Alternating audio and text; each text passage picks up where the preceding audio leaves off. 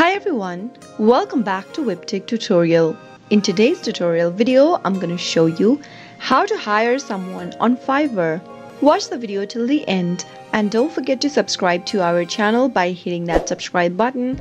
Press the notification bell so that you'll never miss another upcoming upload from us. If you want to hire someone on your Fiverr account, then first open up a web browser in the URL box, type in www.fiverr.com and press enter on your keyboard.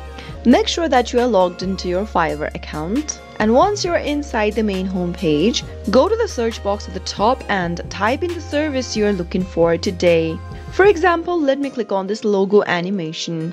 If you want to hire someone to do animation for a logo, then you'll be able to see that there are lots of search results based on your search. You can select a category or service according to your choice.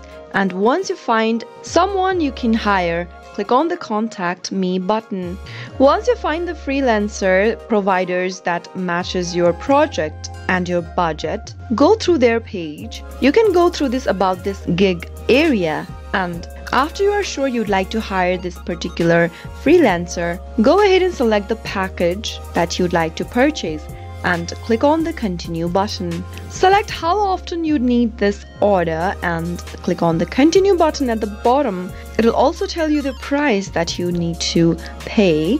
Once you click on the continue button, on the next page you can also select for extras Choose the extras you'd want to include on your hire and click on continue to checkout button on the right hand corner. Follow through the on-screen prompts till the end and once you are done, you'll be able to hire someone to get your work done on Fiverr. That is how it can be done. I hope you found the video to be helpful. If it was, go ahead and give us a thumbs up.